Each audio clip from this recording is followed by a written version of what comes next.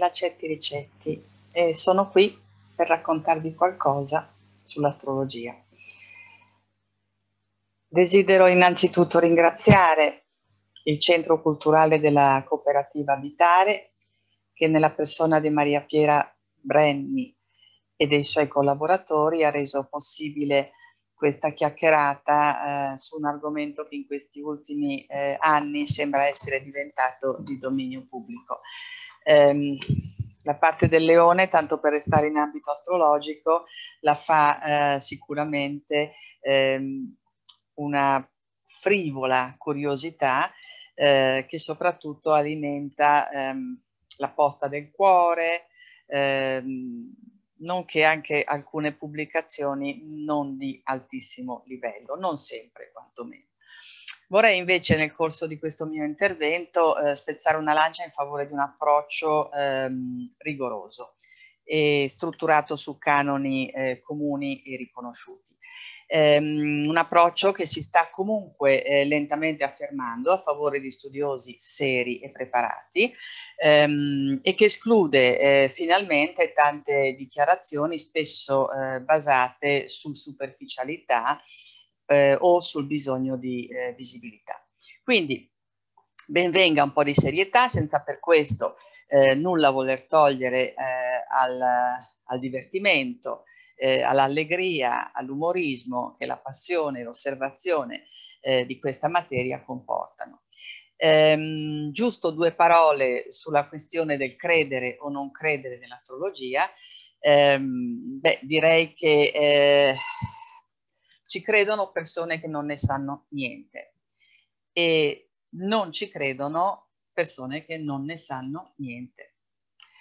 E resta famosa la battuta di Isaac Newton ehm, in risposta a una dichiarazione di eh, Halley eh, che sosteneva di non credere nell'astrologia e Isaac Newton gli rispose eh, lei non ha studiato l'argomento signore io sì bene eh, partiamo eh, con qualche eh, immagine a questo punto.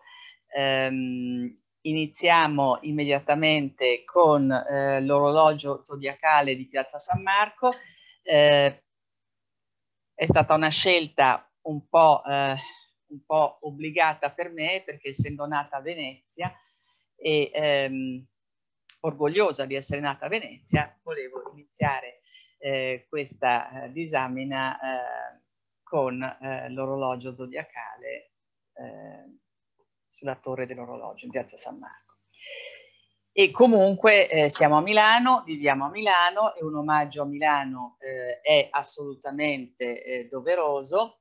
Ehm, eccoci, anche eh, perché non posso trattenermi dal comunicarvi quella che è una scoperta abbastanza recente in ambito astrologico da parte eh, dello studioso professor Adriano Gaspani, studioso di eh, civiltà antiche, e, eh, il quale naturalmente eh, spiegando che anche il Duomo, che è la cattedrale più grande d'Europa, eh, è stato costruito secondo regole eh, astrologiche, eh, questa non è la sede adatta per esplicitarle, ehm, ha eh, risolto quello che era un certo mistero.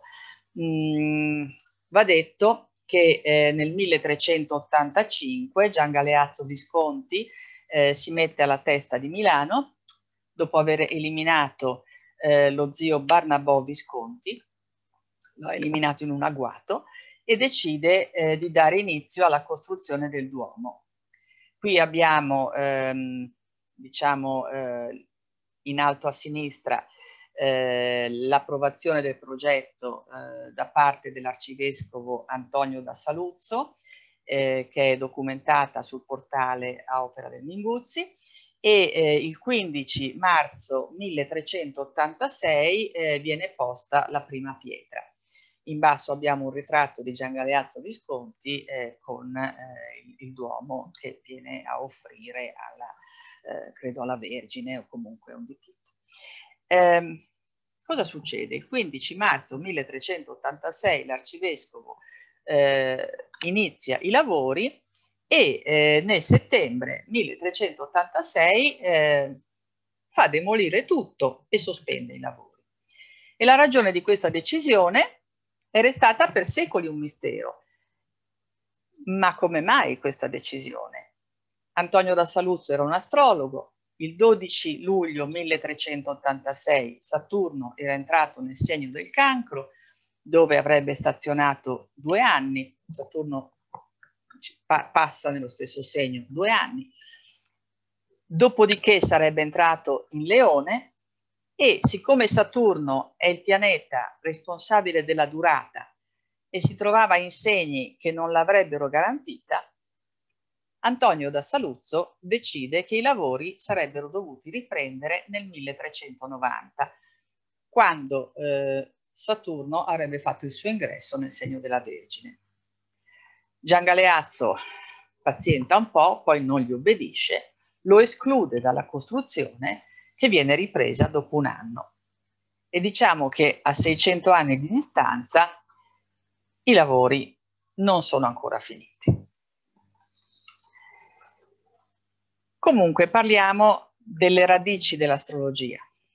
Le radici dell'astrologia risalgono almeno a, a 5.000 anni fa e le sue ramificazioni includono tutte le razze del mondo. Le descrizioni e gli studi delle costellazioni si trovano prima di tutto presso i Sumeri e poi eh, presso egiziani, babilonesi, caldei, assiri, persiani, cinesi, indiani. Gli indiani tuttora, tutt'oggi si sposano sulla base esclusiva dell'oroscopo.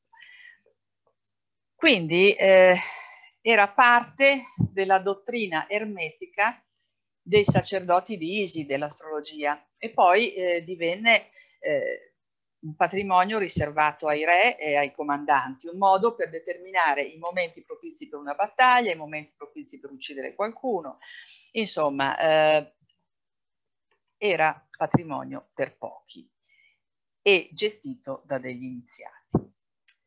E eh, da questi usi riservati a pochi L'interesse per l'astrologia ha costituito eh, soprattutto eh, in ambito di filosofia scolastica e poi oltre attraverso il Medioevo e attraverso il Rinascimento, eh, ha costituito l'esigenza di collocare l'uomo in un ordine di rapporti universali, di tornare cioè a farne un microcosmo in intima connessione con il macrocosmo e con le forze ad esso collegate.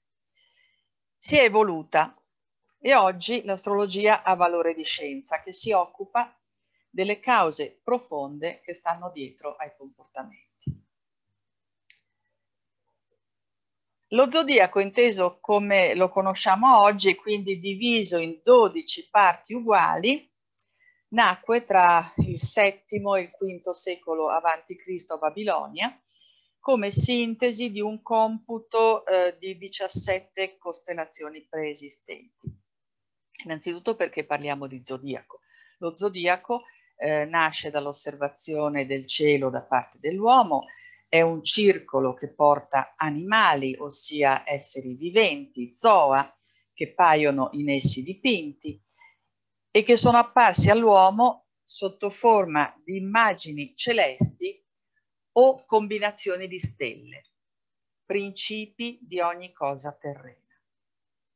Aristotele, per designare l'eclittica, si serve della perifrasi il circolo dei segni e questa espressione verrà usata in tutto il periodo greco.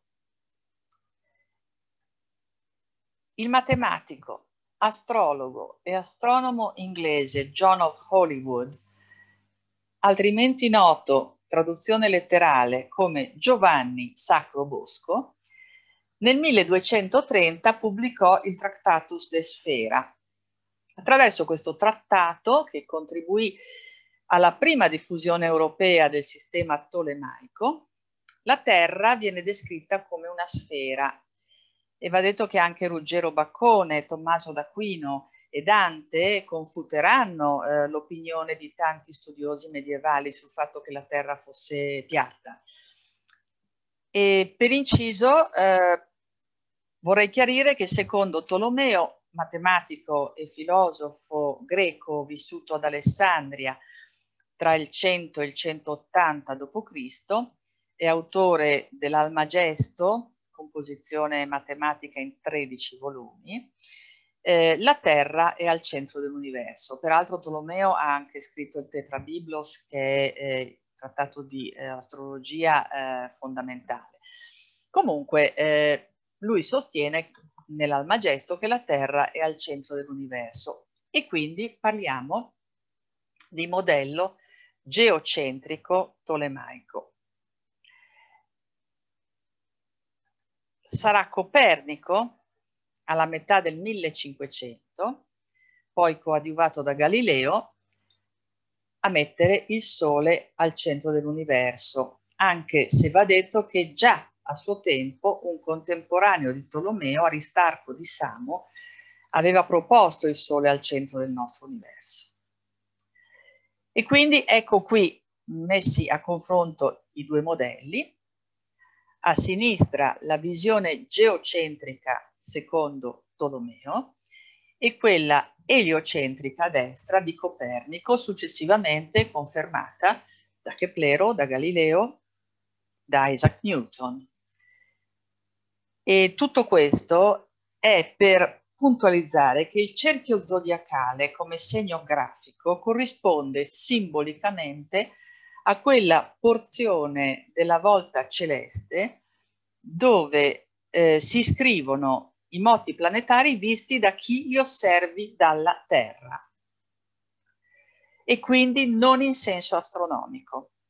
Il cerchio zodiacale prende in considerazione i moti planetari visti da chi li osserva dalla Terra. E i pianeti presi in considerazione dagli antichi erano quindi solo quelli visibili del settenario, cioè Luna, Sole, Venere, Mercurio, Marte, Giove e Saturno, cui grazie al contributo dell'astronomia verranno ad aggiungersi successivamente Urano, Nettuno e Plutone e probabilmente non abbiamo ancora finito. Chiarito che la sequenza zodiacale è geocentrica, torniamo al Sacro Bosco secondo il quale le immagini condotte dal moto incessante del circolo rappresentano la forma di questo o quell'essere vivente in base alla disposizione delle loro stelle. Pertanto ogni immagine celeste ha ricevuto un nome che è adatto sia ad essa che all'essere. Convenzionalmente lo zodiaco inizia con il punto gamma, più o meno il 21 marzo, inizio della primavera, con la denominazione di zero di Ariete. Uno dei punti equinoziali in cui l'equatore celeste, che è la proiezione dell'equatore terrestre, interseca l'eclittica. Quando il Sole, nel suo moto apparente intorno alla Terra, transita per tale punto, la Terra viene a trovarsi in corrispondenza dell'equinozio di primavera, che più o meno cade intorno al 21 marzo. Sei mesi dopo avremo l'equinozio di autunno dalla parte opposta. A partire dallo zero di Ariete noi dividiamo il cerchio zodiacale in 12 settori di 30 gradi ciascuno, chiamandoli segni e non costellazioni e attribu attribuendo a ognuno di essi una denominazione. Quindi i segni sono una struttura circolare dietro la quale ruotano le costellazioni, simili al rosone di una vetrata gotica, in questo caso abbiamo il rosone della cattedrale di Chartres, una vetrata gotica che lascia filtrare luci diverse secondo le stagioni e le ore. E ora veniamo all'analisi dello zodiaco vero e proprio che può essere eh, avvicinato secondo vari livelli di interpretazione. Se attraversiamo ciclicamente i 12 segni zodiacali, vediamo come il Sole abbia da sempre ispirato miti racconti simbolici che esprimono le caratteristiche dei segni in analogia con la fase espressa dal ciclo naturale. Quindi vediamo che il primo segno, l'ariete, siamo di fronte all'impulso energetico che fa spuntare i primi germogli. In toro questi germogli assumeranno pienezza e stabilità e nel periodo corrispondente ai gemelli abbiamo la conquista dell'aria da parte della vegetazione. Segno d'aria, i gemelli ovviamente, e quindi ha luogo l'impollinazione per via aerea a opera del vento o tramite gli insetti. Una volta avvenuta la fecondazione, il processo prosegue nella gestazione in cancro, materno, nutritivo, mentre in leone il frutto, siamo in agosto, giungerà alla maturazione grazie al calore focoso del sole. In Vergine a settembre si compie il raccolto, separando, scegliendo, analizzando e eh, terminato il lavoro eh, la bilancia prenderà delle decisioni in funzione dei risultati ottenuti mentre eh, in Scorpione verrà eliminato ciò che è inutile. Scorpione fine ottobre-novembre, insieme alle foglie cade anche il seme che imputridendo nel terreno permetterà alla vegetazione di rinascere durante il ciclo successivo. In Sagittario invece si dissoda, si ara, si lavora per l'avvenire, proiettati nel futuro. Mentre nel Capricorno il seme compie un lavoro interiore.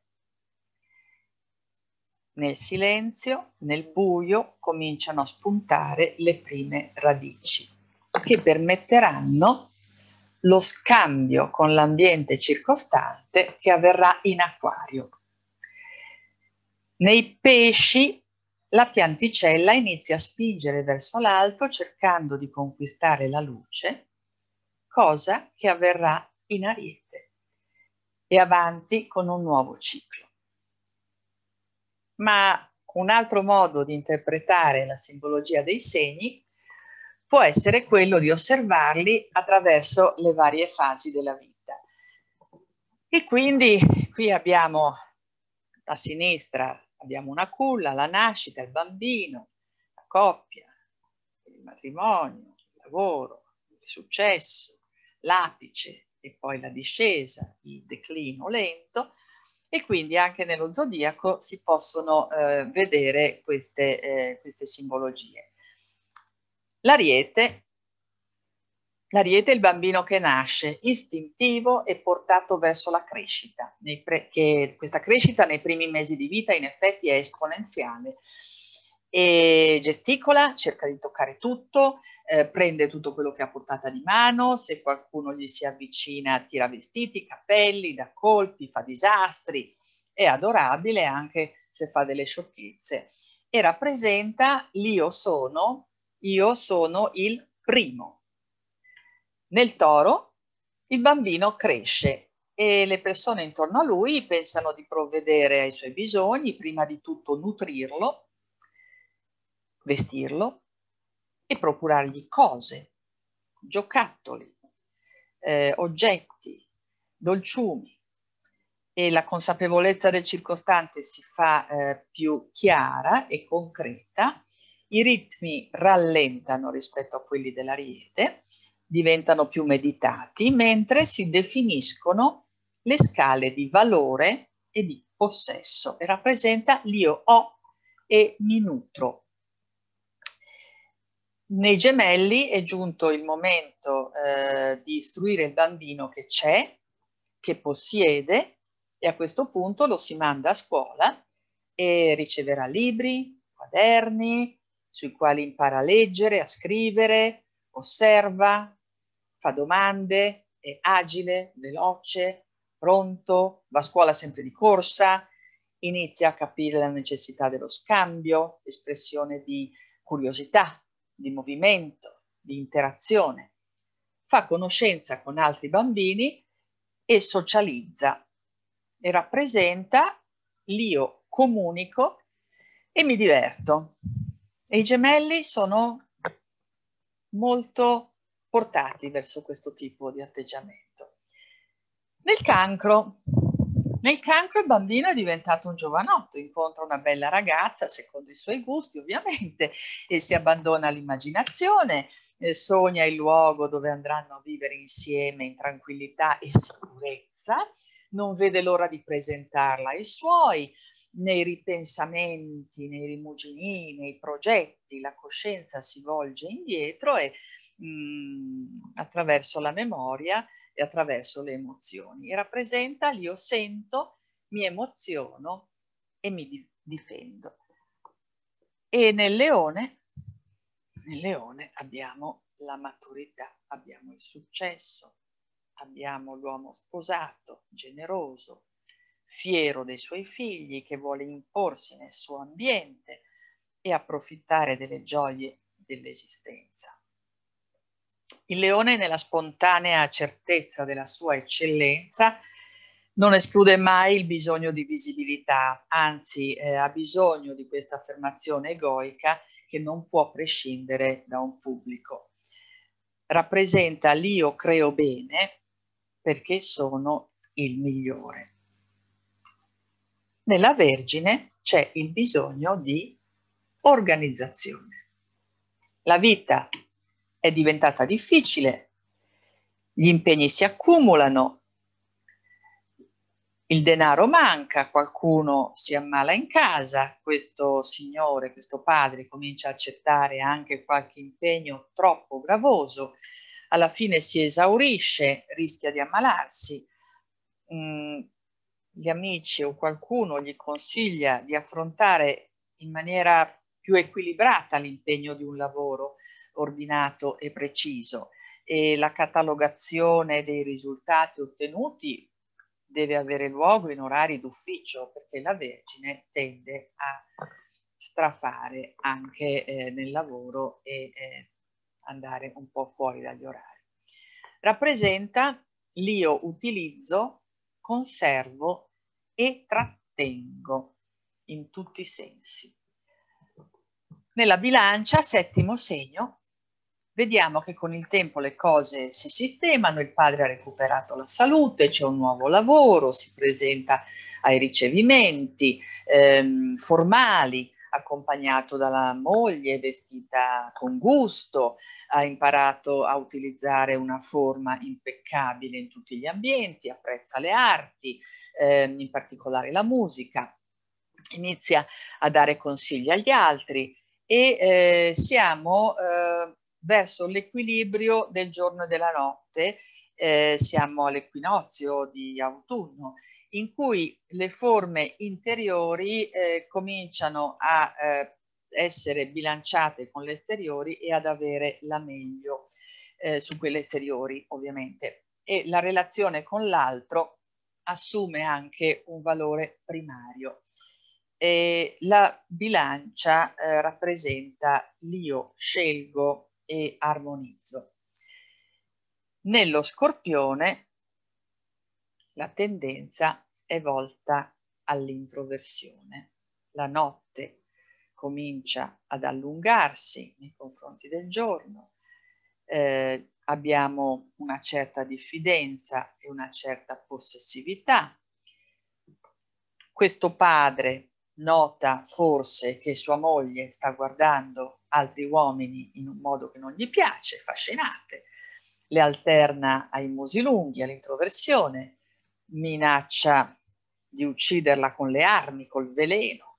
Insomma, le forze si ritraggono all'interno, non si sa quello che pensa, i valori esteriori si disgregano, generando comunque una immensa forza interna, talvolta rigenerativa, perché lo scorpione riuscirà sempre a risorgere dalle ceneri, talvolta però anche distruttiva. Rappresenta l'io nascondo e l'io trasformo, l'affabulatore che riesce a riproporre le cose nel modo in cui in quel momento lui pensa sia il caso di riproporle. Nel Sagittario c'è la maturità. Il padre è diventato un alto funzionario, un professore rispettato, eh, studia i modi di vivere di popolazioni lontane, intraprende grandi viaggi eh, con l'entusiasmo della crescita, visita altri paesi dai quali potrebbe anche decidere di non tornare. È un esploratore in fondo il Sagittario e la proiezione fiduciosa, lui si fida verso il lontano, è qui intesa sia in termini di luoghi lontani, sia in termini di studi impegnativi. Sarà poi il tema natale a dare una direzione in questo senso. E eh, il Sagittario rappresenta io vado più lontano e insegno. Intanto questo padre invecchia e acquisisce una grande reputazione anche grazie alla sua autorità. E da questa sua posizione, la posizione è allo zenit dello zodiaco, è in alto, è sopraelevata, il Capricorno è in alto, e da questa sua posizione lui si sente autorizzato ad esprimere giudizi su tutto e su tutti e a poco a poco conosce l'isolamento. Siamo arrivati appunto a questo segno dove abbiamo il momento della spoliazione del silenzio, del lavoro, della concentrazione sulla propria realtà e della solitudine. Rappresenta l'io devo, io lavoro, io domino. Nell'acquario il padre comprende che non gli è più possibile far fronte ai suoi ambiziosi impegni che necessitano forze che lui non ha più e decide di ritirarsi, concedendosi più tempo per andare in giro, per gli amici. Abbandona questo autocentramento del Capricorno e lavora per fini comuni, con grande leggerezza, necessità di movimento, modi anche originali di esprimersi o di viaggiare, per questo ho scelto la mongolfiera, e rappresenta l'io partecipo in libertà. A questo punto il padre si indebolisce e si distacca talmente dal mondo fisico che tre quarti del suo essere sono già altrove. L'affinità empatica con chi soffre è al massimo. I beni materiali non hanno più importanza anzi se ne libera al punto che potrebbe anche finire abbandonato in un ospedale. Nei pesci abbiamo la consapevolezza dell'ineffabile, della nostra partecipazione a un tutto indiviso. Le energie si dissolvono, tutto si dissolve. Rappresenta io sono parte dell'infinito. In questa descrizione dei pesci non a caso ho scelto l'immagine eh, della, della ballerina, una ballerina di eh, Degas, in quanto a ogni segno corrisponde una parte del corpo e in questo ultimo segno dello zodiaco noi abbiamo i piedi. Infatti anche nel corpo fisico l'essere umano rappresenta egli stesso il cerchio dello zodiaco, all'interno del quale il suo spirito viene condizionato. Come dicevo, a ogni segno corrisponde una parte del corpo. Vediamo questa immagine eh, del tardo medioevo in cui eh, sono proprio esplicitati tutti eh, i segni zodiacali sulla persona e invece di fianco c'è uno zodiaco che eh, ci fa vedere in maniera forse eh, più, più, asciuttina la cosa.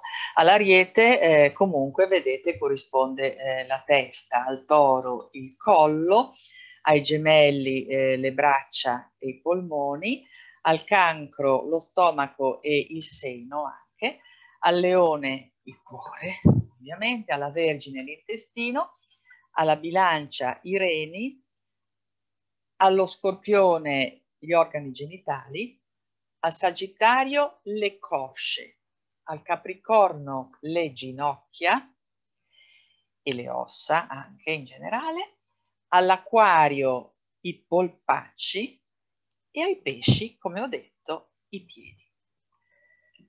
Ed ecco qui una bella frase di Nietzsche. Ogni uomo, in fondo, sa di portare dentro se stesso le radici e il germoglio di tutto ciò che lui è destinato a diventare. Al momento della nascita il bambino riceve l'impronta delle influenze astrali quasi si trattasse di morbida cera. Cera che una volta raffreddata non potrà più essere modificata. Al primo vagito quindi il cielo appone il proprio sigillo e stabilisce il suo oroscopo in cui sono iscritte le sue caratteristiche, difficoltà, debolezze e pregi. E il libero arbitrio, direte voi? Eh. Sostanzialmente la tradizione astrologica eh, ha sempre accettato il libero arbitrio, vincolandolo però entro un margine eh, più o meno ampio di possibilità, le quali andrebbero a costituire il destino di ognuno di noi. D'altra parte è innegabile ed evidente a tutti come ogni uomo sia legato alla propria particolare eredità fisica, psichica, ambientale, mentale, a partire dalla quale egli può nuovamente costruirsi ma che in ogni modo lo caratterizza. E l'astrologia si limita ad analizzare alcune di quelle influenze che costituiscono parte di questa eredità vincolante in modo da trovare la strada per affrancarsi da tanti condizionamenti. Per l'uomo il modo di liberarsi dalle limitazioni rese simbolicamente evidenti dagli astri è la consapevolezza. E quando si diventa consapevoli si riesce a lavorare per ristabilire coscientemente il legame con il proprio sé o con il divino. Il percorso verso questa libertà dai condizionamenti, che Jung chiama percorso di individuazione, inizia dalla capacità di riequilibrare le carenze e gli eccessi che ci caratterizzano. Lo studio del tema natale può esserci di grande aiuto, in questo senso, anche osservando e sfruttando a nostro favore i movimenti dei pianeti che nel tempo formano diversi aspetti con le forze presenti nel nostro tema natale. E qui c'è un esempio di tema natale, giusto mh, mm, per eh, farvi presente che mh, mm, i segni dello zodiaco salgono nel cielo seguendo l'ordine Ariete, Toro, Gemelli, Cancro, Leone e hanno sempre conservato lo stesso ordine sin dal principio dei secoli. In un certo senso mh, mm, i segni rappresentano l'aspetto stabile e immutabile dello zodiaco. I pianeti invece sono sempre in movimento e non mantengono mai la stessa posizione né mantengono lo stesso ordine fra di loro. E i pianeti rappresentano il campo psichico che varia costantemente rispetto al corpo fisico, il quale più o meno presenta sempre la stessa disposizione, salvo magari ingrassare. Però gli arti e gli organi mantengono una posizione fissa fin dall'inizio della creazione, all'interno del corpo invece tutto è movimento. D'altra parte sappiamo anche che i pianeti ricevono una grande potenza o si trovano indeboliti a seconda del segno che attraversano, anche i pianeti agiscono sui segni. Ad esempio, quando Marte arriva in Ariete è forte e potente, perché l'Ariete gli trasmette la propria energia primaria. E Marte si trova a suo agio in un segno così impulsivo e immediato. Quando invece Marte si trova in cancro o in bilancia non riesce a dare il meglio di sé, in quanto questi segni gli sono estranei.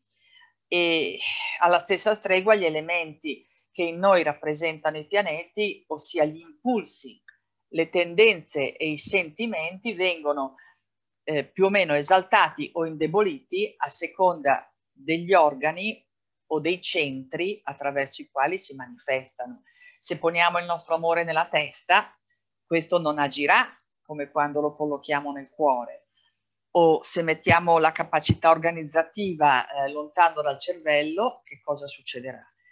E, e come i pianeti si trovano in domicilio, in esaltazione o in esilio in alcuni segni, così pure eh, le nostre facoltà eh, intellettive, le nostre facoltà fisiche o affettive verranno potenziate o affievolite a seconda degli organi attraverso i quali cercheranno di esternarsi. Qui vediamo un tema natale, un tema natale qualsiasi, non particolarmente interessante, ma eh, la cosa eh, che volevo evidenziare è che all'interno di questo tema natale abbiamo la posizione dei pianeti al momento della nascita dell'individuo mm, e eh, all'esterno eh, abbiamo la, eh, il passaggio dei pianeti in un determinato momento. Eh, I pianeti all'interno alla nascita formano degli aspetti tra di loro, eh, i pianeti all'esterno nel loro eh, camminare eh, eterno, diciamo, intorno, ehm, formano degli aspetti alternativi con i nostri pianeti del tema natale. Quindi, come risulta evidente dall'esempio di questo tema natale, in un oroscopo, oltre ai segni e ai cosiddetti pianeti, che includendo il Sole sono 10, esistono quattro punti importanti. Il segno che sorge a est al momento della nascita, chiamato ascendente. Quello opposto, discendente, tramonta a ovest. Il segno che culmina nel cielo, il medium celi, e quello che si oppone ad, es ad che è l'imunceli. I due assi ascendente e discendente, medio cielo e imunceli, dividono l'oroscopo in quattro parti, ciascuna delle quali si divide a sua volta in tre parti, non vi sto a spiegare come, dando luogo ad un totale di 12 case. Le case ci rivelano l'ambito preferenziale nel quale le forze di ciascuno di noi tenderanno a esprimersi. E qui mi fermo. Quindi nell'interpretazione di un tema natale, che se fatto bene può essere solo rivolto all'individuo, avremo un numero infinito di variabili, ma dobbiamo tenere conto di tre fattori fondamentali e dell'interazione fra essi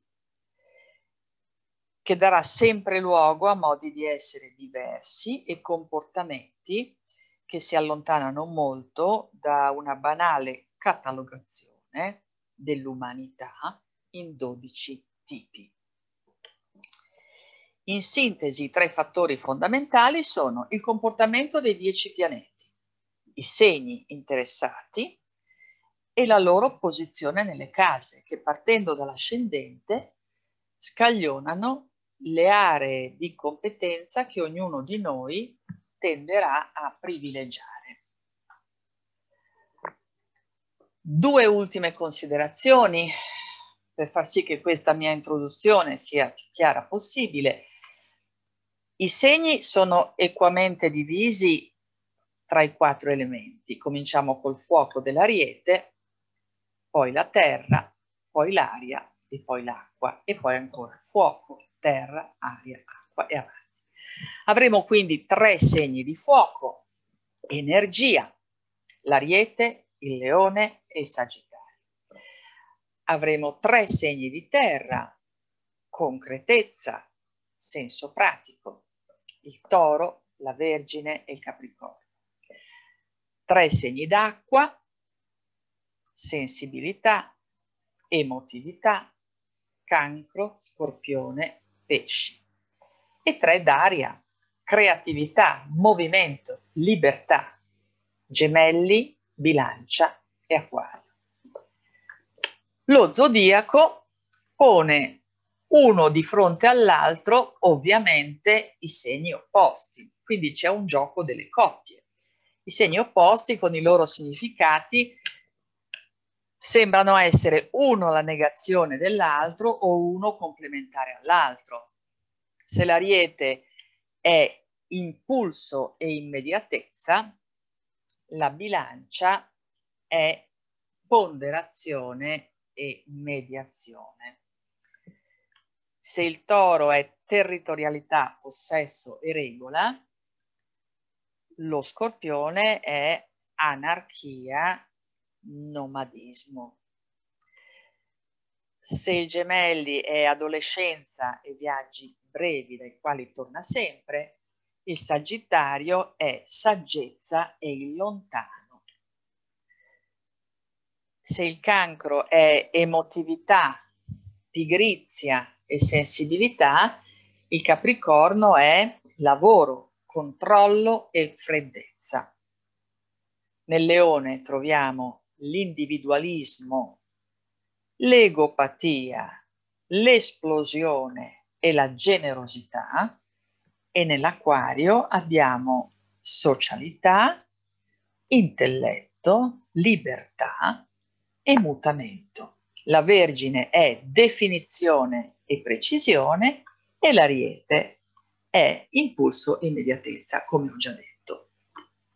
Qui mi fermo perché poi non vorrei sovraccaricare e il discorso potrebbe farsi troppo lungo e complesso.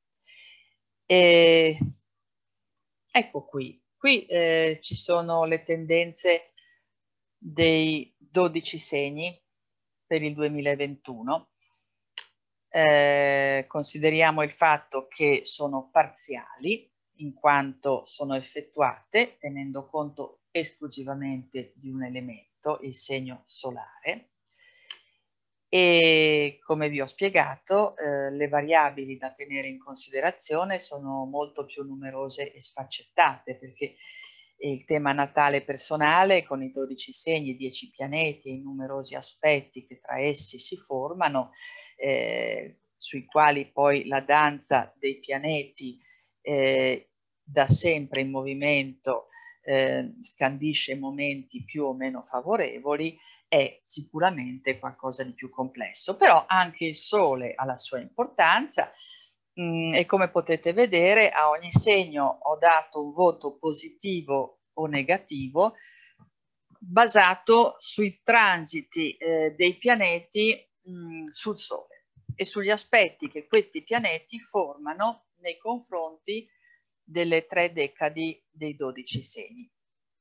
Quindi eh, vediamo eh, come eh, la prima decade dell'Ariete, eh, che peraltro arriva anche fino al 2 di aprile, perché ha una, un sestile di Saturno eh, ai nati, intendo dire i nati fino al 2 aprile, ha un sestile di Saturno nella prima decade, non ha eh, aspetti, il sole della seconda decade non riceve aspetti e il sole della terza decade eh, riceve un aspetto positivo da Giove, sestile, che quindi gli darà ancora più enfasi, e una quadratura di Plutone eh, che potrebbe eh, disturbarlo.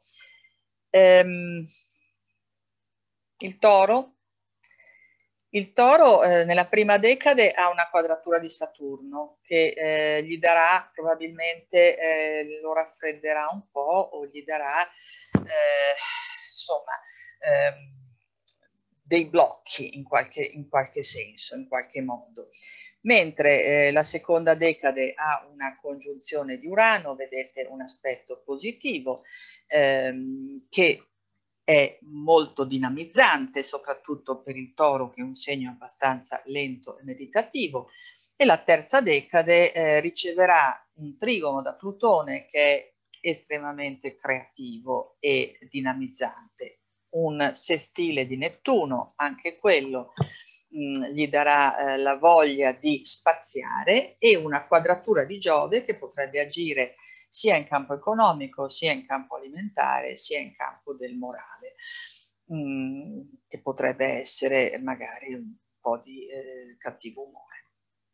I gemelli, i gemelli ha nella prima decade un bellissimo trigono di Saturno che eh, gli sta molto bene perché eh, questo gemelli eterno adolescente eh, avrà eh, finalmente la consapevolezza di un po' di concretezza e eh, regola nella seconda decade non ci sono aspetti al Sole e nella terza decade abbiamo la quadratura di Nettuno che potrebbe creargli un po' di confusione, ma il trigono di Giove che comunque eh, gli conferirà grande ottimismo. Eh, il cancro nella prima decade non riceve aspetti, nella seconda decade ha un sestile di Urano e quindi eh, potrebbe eh, sentirsi eh, bene e anche eh, stimolato a fare cose e a superare la sua pigrizia. E eh, nella terza decade eh, abbiamo un'opposizione di Plutone che potrebbe fargli rivedere varie questioni della sua vita e che lascerà sicuramente il segno, però un trigono di Nettuno che eh, lo aiuterà a evadere in campo immaginativo e eh, sognante. Il leone, il leone purtroppo eh, quest'anno eh, è bene che stia tranquillo e che eviti eh, di mettersi troppo in vista il leone per la prima decade ha un'opposizione di Saturno che gli toglie anche quel barlume di razionalità che aveva. Eh, ha una quadratura di Urano nella seconda decade e ha un'opposizione di Giove nella terza che gli toglie anche l'ottimismo. E direi che forse il leone è quello messo peggio, senza grandi recuperi. La Vergine eh, nella prima decade non riceve aspetti, nella seconda ha un bel eh, trigono di Urano che alla Vergine fa molto bene perché Urano è esaltato in Vergine e comunque è un, è un, è un bel pianeta che, che, dinamizza molto. E eh, nella terza decade abbiamo Plutone eh, al trigono, quindi un aspetto positivo e un aspetto negativo che arriva da Nettuno in opposizione e quindi magari le darà un po' di confusione nella sua organizzazione, nella sua precisione. La bilancia, la bilancia ha Saturno al trigono che l'aiuterà ancora a essere ehm, consapevole, altruista, oblativa, formale, eh, e eh, ben eh, impostata. La parte diciamo di seconda decade non riceve aspetti e la terza ha eh, la terza decade ha Plutone al quadrato e Giove al trigono. Quindi eh, da un certo punto di vista ci saranno degli ostacoli pesanti eh, perché Plutone lascia sempre il segno gli ambiti chiaramente si possono verificare sugli oroscopi personali, però Giove al trigono comunque sarà un bel sostegno e eh, non eh, lascerà che eh, la cosa ehm, la deprima troppo. Siamo allo scorpione. Lo scorpione di prima decade ha una quadratura di Saturno e quindi probabilmente tenderà all'introversione e eh, ha un po' di eh, depressione. Mm, la seconda decade abbiamo l'opposizione di Urano e potrebbe innervosirlo non poco, ma nella terza decade eh, abbiamo due aspetti bellissimi, Plutone al sestile, quindi grande creatività, grande eh, esplosione di idee, eh, con Nettuno al trigono e eh, una quadratura di Giove che comunque eh, forse porrà un po' un freno a tutti questi fuochi d'artificio. Il Sagittario, il Sagittario ha eh, Saturno a sestile nella prima decade, quindi bene, un po' di razionalità per il Sagittario che nella sua ingenuità e nella sua voglia di andare, andare, andare, a un certo punto a volte si allarga anche un po' troppo, quindi Saturno in eh, una eh, posizione armonica eh, magari riesce a eh, chiuderlo entro certi confini eh, la seconda decade non riceve aspetti, nella terza abbiamo la quadratura di Nettuno che eh, potrebbe creargli un po' di confusione e il sestile di Giove che invece gli darà comunque una bella spinta ottimistica. Il Capricorno nella prima decade non riceve aspetti, nella seconda ha Urano al trigono, quindi eh, una bella eh, spinta dinamica anche abbastanza verso l'esterno e nella terza decade abbiamo Nettuno al sestile del Sole in Capricorno che gli darà una sfumatura di immaginazione e di creatività. Siamo all'Aquario, l'Aquario nella prima decade avrà Saturno congiunto, quindi eh, approccio eh, razionale e un po' di freddezza. Eh, nella seconda avrà Urano quadrato, quindi non tutte le cose che lui si metterà in testa di fare gli riusciranno.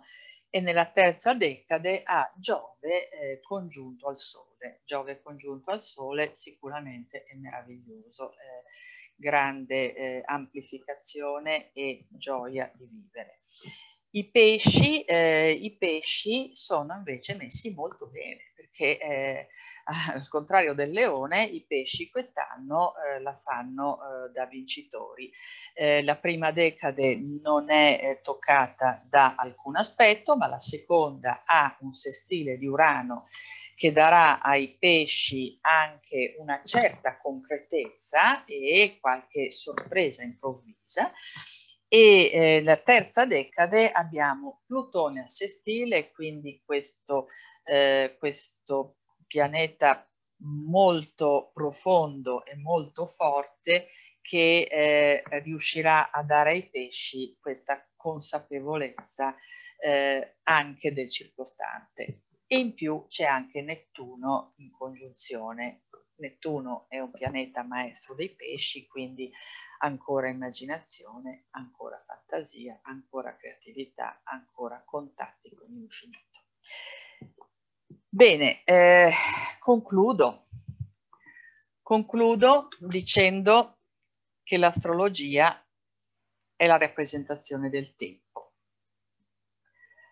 L'astrologia ci mette di fronte al tempo personale in relazione al tempo universale. Il tempo preciso dei pianeti che si fissano al principio di ogni nascita e poi mutano disegnando nuove forme. Il tempo dei pianeti è il tempo degli uomini. Bene, io avrei concluso, spero di non avervi annoiato e vi ringrazio per avermi ascoltato fino ad ora e vi auguro un 2021 migliore del 2020, ma credo che lo sarà sicuramente. Grazie e arrivederci a tutti.